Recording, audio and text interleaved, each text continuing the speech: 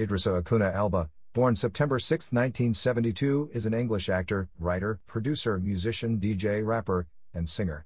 He is known for roles including Stringer Bell in the HBO series The Wire, DCI John Luther in the BBC One series Luther, and Nelson Mandela in the biographical film Mandela, Long Walk to Freedom, 2013. He has been nominated four times for a Golden Globe Award for Best Actor, miniseries or television film, winning one, and was nominated five times for a Primetime Emmy Award.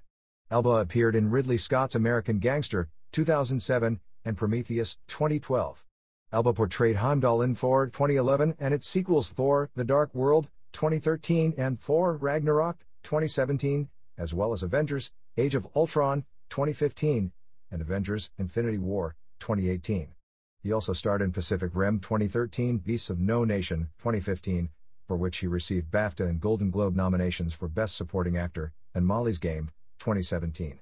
In 2016, he voiced Chief Bogo in Zootopia, Shere Khan in the live action CGI adaptation of The Jungle Book, Fluke in Finding Dory, and played the role of Krall in Star Trek Beyond.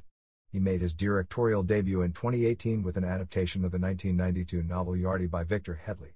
In addition to his acting work, Elba performs as a DJ under the moniker DJ Big Driss, or Big Driss the Londoner, and as an R&B musician. In 2016, he was named in the Time 100 list of the most influential people in the world. As of May 2019, his films have grossed over $9.8 billion at the global box office, including over $3.6 billion in North America, where he is one of the top 20 highest grossing actors.